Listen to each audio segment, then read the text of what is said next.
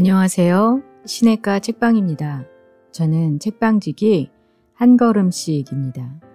오늘은 지난 시간에 이어 필립 얀시의 아, 내 안에 하나님이 없다 중에서 육부, 회복, 그 관계의 종착지 20장에서 23장까지 정리해서 읽어드리도록 하겠습니다. 20장 신라권 선함, 타락, 부속이라는 과정이 이 지구상의 모든 만물에 적용된다. 가족, 교회, 경제, 정부, 기업 등 인간의 손길이 닿는 모든 영역은 원래의 선함에서 흘러나오는 좋은 향기와 타락에서 나는 더러운 악취를 함께 내뿜고 있다. 그리고 오랜 시간 느리게 진행되는 구속의 역사를 바라고 있다. 그것이 바로 성경에서 제시하는 줄거리며 모든 역사의 줄거리다. 어거스틴 이후로 기독교 신학은 우리가 악하다고 부르는 것들이 선한 것들을 유혹하고 더럽힌다고 주장해왔다. 거짓이 진실을 가리우고 성적인 음란함이 육체적 사랑의 아름다움을 훼손시킨다. 폭식은 음식과 음료의 가치를 왜곡시킨다. 선한 것에 의존해 살아가는 악한 것이라 할 수 있는 기생충은 새로운 무언가를 만들어낼 능력이 전혀 없다. C.S. 루이스의 작품에 등장하는 스크루 테이프는 그 사실을 정확히 말했다. 기쁨은 그의 창조물이지 우리의 것은 아니야. 그가 기쁨을 만들었어. 우리는 많은 연구를 했지만 지금까지 단 하나의 기쁨도 만들어내지 못했어. 부정적인 감정들이 올바로 사용되면 긍정적인 가치를 발휘할 수 있다. 정신병의학자 제랄드 메이는 실제로 우리의 부족함은 우리에게 주어진 가장 귀한 선물이다. 그것은 우리의 열정과 창의력과 하나님을 추구하는 태도의 원천이다. 삶의 뛰어난 요소들은 우리의 인간적인 열망에서 비롯된다. 우리는 가장 많이 사랑할 때 가장 많은 고통을 당한다. 우리는 계속 살고 싶기 때문에 죽음을 회피한다. 불교인들은 세상의 시작과 끝에는 거의 관심이 없고 단지 이 세상의 문제로부터 해탈하기 위해 노력한다. 힌두 교도들과 이슬람 교도들은 세상의 문제들을 달게 받아들인다. 부어스틴은 과학과 예술은 유대교와 기독교의 토양에서 자라났다고 주장한다. 이처럼 일그러진 세상에 항거하려는 인간의 본능은 구속의 역할을 담당해야 한다는 확신에서 비롯되었다. 시간은 중요하고 역사도 중요하며 각 개인도 중요하다. 우리는 어딘가를 향해 나아가고 있다. 구속을 향해 가고 있는 것이다. 심지어 기독교의 주장을 부정하는 운동들도 거기에서 많은 요소들을 도입했다.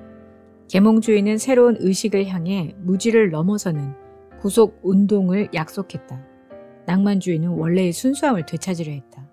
공산주의는 구속의 필요성을 배제하고 타락된 상태를 되돌리는 방법을 약속했다. 여성, 소수민족, 장애자, 환경, 그리고 인권 운동가들은 억압받는 노예 상태에서의 구속을 약속하는 기독교로부터 도덕적인 힘을 공급받고 있다. 기독교는 역사가 약간 기울어진 상태로 멀리 돌아가긴 하지만 해결책을 향해 나아가고 있다고 주장한다. 우리가 이처럼 이상한 실존 속에서 경험하는 아름다움과 가치, 그리고 의미 있는 흔적들은 아직까지도 원래의 의도를 간직하고 있는 선한 세계의 자취들이라고 할 수 있다. 고통과 불안, 잔혹함과 불법으로 인한 아픔은 그러한 선한 의도에서 벗어난 타락의 자취들이다. 사랑, 정의, 평화, 그리고 연민을 드러내는 모습은 궁극적으로 구속을 향해 나아가는 움직임들이다. 21장 하나님의 역설 세상은 좋은 곳이다. 세상은 죄로 오염되었다. 세상은 구속될 수 있다. 이러한 순서가 우주의 역사를 묘사한 것이라면 바로 그런 렌즈를 통해 세상과 나 자신을 바라보는 법을 배워야 한다. 믿음은 그런 관점을 받아들이는 능력을 개발하는 것이다. 정상에 이르기 전에는 지나온 흔적들이 아무리 분명하게 보일지라도 전체적인 내용을 완전히 이해할 수 없다. 나는 창세기 첫 장부터 요한계시록 마지막 장까지 읽어나가면서 세계의 역사 속에 흐르고 있는 두 개의 거대한 줄기를 발견했다. 첫째, 악은 선한 것을 사로잡아 그것을 파괴한다. 인간은 타락 이후 도덕적으로 중립에 있지 않고 악한 세력에 의해 좌우되는 세상 속에 살고 있다. 역사책이나 신문의 내용들이 그런 사실을 명백하게 증언한다. 그런 세력에 반대해 하나님께서는 악이 망쳐놓은 것을 회복시키는 능력의 물줄기를 보내신다. 하나님께서는 지금까지 가장 나약해 보이는 병사들을 통해 당신의 능력을 행사하셨다. 바로 결점 많은 인간들이다. 이러한 전략 때문에 종종 하나님께서 전투에 패배하신 것처럼 보일 때가 있었다. 최후의 승리는 하나님께서 능력과 영광 가운데 악의 통치를 영원히 끝내실 때 이루어질 것이다. 나는 한 세력이 반대 세력을 완전히 소멸시킬 날이 반드시 올 것이라고 믿는다. 예수님의 부활이 승리의 날에 대한 명백한 약속으로 주어졌다. 그때가 오기 전까지 나는 날마다 두 세력의 다툼을 경험해야 한다. 나는 하나님의 방식이 반어적이라고 생각한다. 좀 더 직접적인 접근법을 통해 새로운 문제들을 즉시 해결해 주시면 좋을 것 같다. 어떤 여인이 아프면 하나님께서 치료해 주시고 어떤 남자가 억울하게 옥에 갇혔으면 하나님께서 바로 풀어주신다면 얼마나 좋을까. 하지만 하나님께서는 그런 식으로 접근하시지 않는다. 그분은 엄청난 미묘함의 창시자답게 위험한 방법으로 줄거리를 진행시켰고 겉보기에 우회로처럼 보이는 길이 본향에 이르는 통로가 되도록 만들어 놓으셨다. 하지만 아이러니하게도 십자가 위에서 일어난 예수님의 죽음을 통해 다른 사람들을 구원하셨다. 악의 세력에서 선한 이들을 건져내시는 하나님의 능력의 물줄기는 성육신 속에 은밀히 흐르고 있다. 신앙이 자라면서 개인의 삶이 광대한 이야기에 이르는 작은 길이라는 확신도 점점 강해졌다. 내 개인의 이야기 속에는 내가 후회하고 분개하는 세밀한 내용까지 포함되어 있다. 게다가 어린 시절 받은 고통, 질병과 상처, 빈곤의 시기, 잘못된 선택, 관계의 단절, 놓쳐버린 기회, 실패에 대한 실망 등도 담겨 있다. 하나님께서 그런 모든 내용들을 본의 아니게 은혜의 도구로 사용해 전체적인 이야기를 구속의 방향으로 이끌어 나가실 것을 나는 진심으로 믿을 수 있는가? 그분은 우리에게 창조의 원래 의도를 반역할 수 있는 자유를 허락하셨다. 하지만 아이러니하게도 우리의 반역 행위조차 그분이 세워놓으신 회복이라는 최종 목표를 위해 사용된다.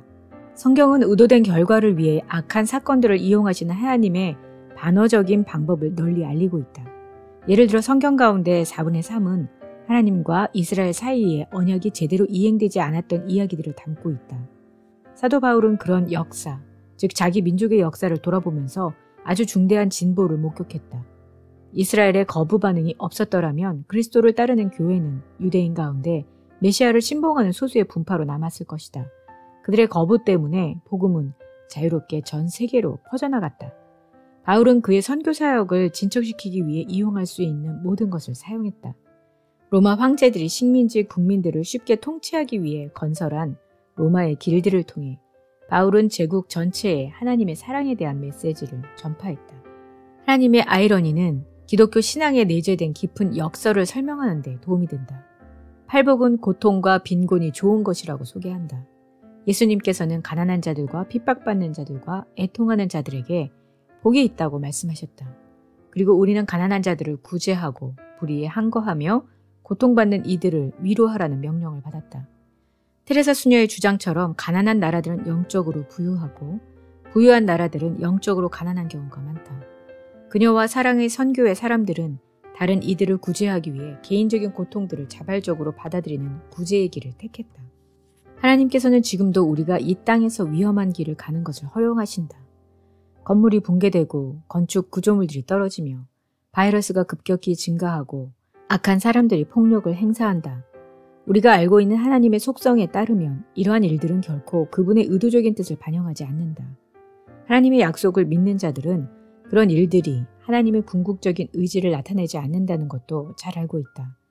우리가 이 땅에서 살아가는 동안 악한 일들은 필연적으로 일어날 것이다. 하나님께서는 창조 때의 물질을 통해 역사하셨지만 구속의 과정에서는 사람을 통해 역사하신다. 나는 이 땅에서 일어나는 무수히 많은 비극의 직면에 하나님을 비난하거나 그분에게서 등을 돌릴 수도 있고 또는 하나님께서 악한 것으로부터 선한 것을 이끌어내심을 믿고 그분을 신뢰할 수도 있다. 첫 번째 반응은 과거에 초점을 맞추고 미래는 전혀 바라보지 않는다. 두 번째 반응은 미래의 가능성들을 열어놓고 예술가이신 하나님께서 우리에게 일어나는 모든 일들을 원자재로 사용해 새로운 이야기를 만들어 가시기를 기다린다. 그분의 이야기는 비극이나 실패 없이 이루어질 수도 있었지만 오히려 그런 요소들 때문에 읽을 거리가 풍부한 훌륭한 작품이 되었다. 22장 중매 결혼 중매 결혼이 일반화되어 있는 사회는 불안정한 사랑을 강조하는 사회에 비해 이혼율이 훨씬 낮다.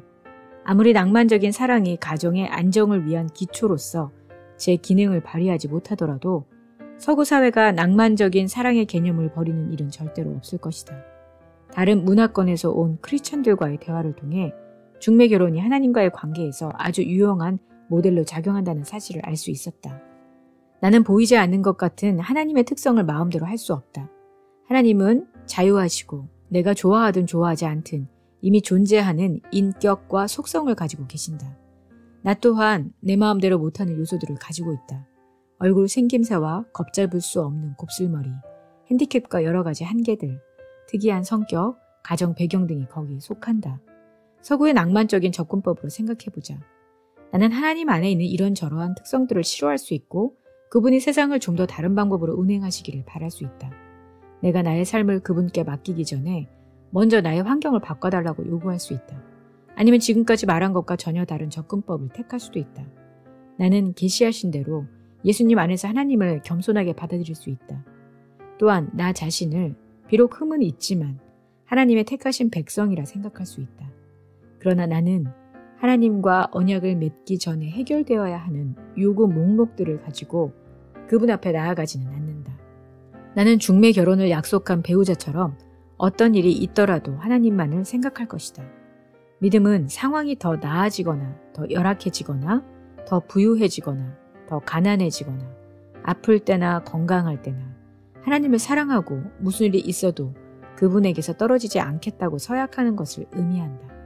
중매 결혼의 관점은 두 가지 사실을 보여준다. 하나님께서도 나에게 전념하고 내가 고통당하는 지금의 환경을 올바른 상태로 회복시키실 미래와 영원한 생명을 약속해 주신다. 하나님께서는 나를 조건적으로 받아들이시지 않는다. 행위에 따라 나를 판단하시지 않는다는 말이다. 그분은 내가 셀 수 없이 많은 잘못을 범했음에도 불구하고 사랑과 용서를 베풀어 주신다. 어떤 이들은 하나님과 함께하는 삶이 자신의 문제에 대한 해결책으로 작용하기를 기대하고 낭만적인 사랑의 문화 속에서 배우자를 고르는 것처럼 자신에게 유익한 결과를 바라면서 하나님을 선택한다. 그들은 하나님께서 자기에게 좋은 일을 해주실 것을 기대한다. 11조를 들이되 그 돈이 10배가 되어 다시 돌아올 것이라 믿는다. 하나님께서 자신들을 번성하게 할 것이라는 희망 때문에 의롭게 살려고 노력한다. 직업을 구해주고 부부관계를 다시 연결해주며 정신지체와 자녀와 절단된 다리와 추한 얼굴을 치료해 주실 것을 믿는다. 하지만 우리 모두가 알고 있는 것처럼 인생이란 그렇게 깔끔하게 풀려나가지 않는다. 실제로 어떤 나라에서는 크리스천이라는 이유 때문에 직업을 얻지 못하고 가정에서 쫓겨나고 사회적으로 증오의 대상이 되며 심지어 감옥에 갇히기도 한다. 고린도 교회에 보낸 편지에서는 자신의 실패와 그동안 겪은 고난을 바울은 자랑했다. 그는 매를 맞고 돌팔배지를 당하며 파선당한 것과 그 외의 자연재해를 입은 것을 자랑했다. 또한 배고픔과 목마름, 육체적인 불편함과 응답되지 않는 기도들을 자랑했다. 하나님께서는 모든 문제들을 우리가 원하는 방법대로 해결하겠다고 약속하시지 않았다.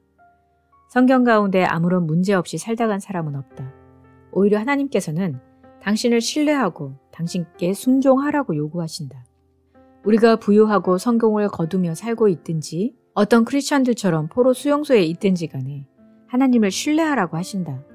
하나님께서 가장 중요하게 여기시는 것은 우리가 각자에게 주어진 원재료들을 가지고 무엇을 만들어내는가 하는 것이다. 우리는 자신의 문제를 재료로 작품을 만들어내는 힘든 과정에서 예수님의 삶의 방식으로 눈을 돌려야 한다. 예수님께서는 이 땅에 오실 때 어떤 원재료라도 택하실 수 있었지만 가난, 별 볼 일 없는 가정, 고통, 사람들의 거절과 같은 환경을 의도적으로 택하셨다. 그분은 이 땅의 삶에서 부딪히는 골치 아픈 일들을 면제받으려 하지 않았다. 마치 그런 모든 환경들이 아버지와 건강한 관계를 유지하는데 방해가 되지 않는다는 사실을 보여주는 듯하다. 그리스도는 모든 문제의 해답이라고 말하기보다 그리스도는 우리가 본받아야 할 모범이라고 말해야 한다. 왜냐하면 예수님께서 이 땅에서 보내신 삶이 대다수 사람들이 그토록 갈망하는 해답을 제시해주지 않기 때문이다. 그분은 자신의 가정 수준을 향상시키기 위해 자신을 위험으로부터 보호하기 위해 또는 안락함과 재산을 증가시키기 위해서는 초자연적인 능력을 단 한 번도 사용하시지 않았다. 하나님을 자기 실현의 수단으로 사용하려고 하는 자들은 거의 언제나 실망만 안고 떠나게 될 것이다. 하나님께서는 그와 정반대의 생각을 품고 계신다. 그분은 이 땅 위에 자기 실현을 이루기 위해 우리들을 자신의 은혜의 그릇으로 사용하고자 하신다. 23장 성 금요일의 열매 알코올 중독자들을 돌보는 시설인 AA의 공동 설립자였던 빌 윌스는 많은 환자들을 치료하기 위해 온갖 노력을 기울인 후에야 결국 그와 같은 아이러니를 이해할 수 있게 되었다. 그는 알코올 중독자가 그 상태를 벗어나려면 반드시 바닥을 쳐야 한다고 굳게 믿었다. 윌스는 알코올 중독에서 벗어나려고 애쓰는 사람들에게 이런 말을 했다. 진정한 힘은 나약함으로부터 나온다. 부활이 있기 전에 먼저 치욕스러운 고통이 있었다. 우리는 이러한 하나님의 역사를 너무나 절실히 깨달을 수 있게 되었으니 얼마나 큰 특권을 누린 것인가. 고통은 과거 행동에 대한 대가일 뿐 아니라 영적인 재탄생을 알리는 시금석이다. 그러한 아이러니는 회복 과정을 통해 계속된다. 알코올 중독자들을 호전시켜달라고 필사적으로 기도한다고 해서 갑자기 그리고 기적적으로 완쾌된 경우는 거의 없었다. 매일의 삶에서 알코올의 유혹을 물리치는 치열한 전투가 계속된다. 그들은 기적의 약을 얻는 것이 아니라 은혜를 경험한다. 은혜의 능력은 의식적으로 하나님께 의존함으로써 날마다 조금씩 활성화된다. 이 세상의 모든 사람은 저마다 고난과 역경의 대본에 따라 살아간다. 외로움, 신체 장애, 가난, 어린 시절의 학대, 인종차별, 만성 질병, 역기능적인 가정, 마약이나 알코올 중독, 이혼 등 내가 하나님을 제우스 같은 신으로 비참한 인간을 향해 벼락을 내리는 신으로 생각한다면 아마 나는 온갖 역경의 직접적인 원인으로 하나님을 지목하고 그분을 향해 분노와 불쾌감을 드러낼 것이다. 하지만 그와 반대로 하나님께서 겉으로 드러나는 표면 아래에서 역사하시며 우리를 나약함과 한계로부터 불러내는 분이라고 생각한다면 나는 원망스러운 일들 속에서도 구속의 가능성을 발견하게 될 것이다. 하나님과의 관계 속에는 고난으로부터 초자연적으로 해방시켜주겠다는 약속이 담겨 있지 않다. 하나님과 함께 있으면 고난을 초자연적으로 사용할 수 있는 힘을 얻는다. 존 번연의 작품에서 볼 수 있듯이 순례자는 즐거움과 고난이 기다리고 있고 언뜻 돌아가는 것처럼 보이는 그 길을 따라갈 때에만 목적지에 도달할 수 있었다. 오늘날 우리는 예수님께서 죽음 당하신 날을 성금요일이라고 부른다. 어두운 금요일이나 비극적인 금요일이라 부르지 않는다. 그가 채찍에 맞음으로 우리는 나음을 입었다. 기독교에서 그토록 강조하는 성금요일은 십자가의 날이다. 이 말은 그리스도가 불법과 끝없는 고통, 그리고 버림받음과 죽음을 알고 계신다는 의미다. 하지만 우리는 승리의 주일에 대해서도 알고 있다. 크리스천들에게 그날은 부활과 정의와 죽음을 이긴 사랑의 친밀함을 의미한다. 물론 그날의 의미는 확실하게 보장되어 있지만 불확실하게 보이기도 하며 명확하게 드러났지만 인간의 이해 차원을 넘어선다. 주일의 희미한 윤곽은 소망을 가져다 준다. 하지만 지금 우리는 토요일의 긴 여정을 가고 있다. 조지 스타이너. 많은 사람들에게는 토요일 하루의 긴 여정이 너무 길고 짊어지고 가는 인생의 무게가 너무 무겁게 느껴질 수도 있다. 성 금요일의 사건은 예수님께서 우리와 함께 동행하신다는 위안을 가져다 준다. 하지만 고통과 수치심에 빠져 있어 모든 사실들을 명확하게 이해하지 못하는 마음을 가지고 있는 사람에게는 영광스러운 주일의 약속이 너무 막연하고 비현실적인 것으로 보일 수 있다. 그러나 그 약속은 명백한 사실이다. 네, 오늘은 필립 얀시의 아, 내 안에 하나님이 없다 의 마지막 시간으로 6부 회복 그 관계의 종착지 20장에서 23장을 정리해서 읽어드렸습니다. 네, 6차례에 걸쳐서 이 책을 정리해 드렸는데요. 여러분 어떠셨는지 모르겠어요. 저는 이 책을 다시 보면서 저희들의 삶 속에서 하나하나 하나님 앞에서 참 의심하고 참 내 안에 하나님이 없는 것 같은 수많은 우리의 모습조차 하나님께서는 받으시고 그 과정을 통해서도 오히려 아름답게 우리의 삶을 이루어 가신다라는 것을 보게 되는 그런 시간들이었습니다. 어린아이가 어른으로 성장하고 좀 부모가 되어 다른 사람을 돌보아야 하는 것처럼 주님께서는 우리가 그렇게 성장하기를 바라시고 그 과정이 참 험난해 보이고 주님의 부활의 날이 오지 않을 것 같은 기나긴 토요일처럼 느껴지는 우리의 인생이라 할지라도 주님께서 아름답게 빚어가실 것을 믿으며 신뢰하며 하루하루를 살아가야 되겠다는 생각을 하게 되었습니다. 여러분에게도 의미 있는 시간이 되었기를 바랍니다. 그럼 다음 시간에 새 책으로 돌아올게요. 안녕히 계세요.